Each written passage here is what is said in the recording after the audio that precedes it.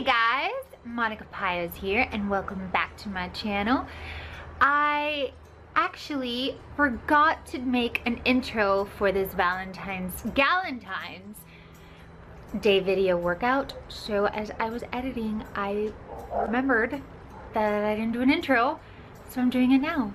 I hope you guys enjoy this. This is a fun little routine that you can do with a friend.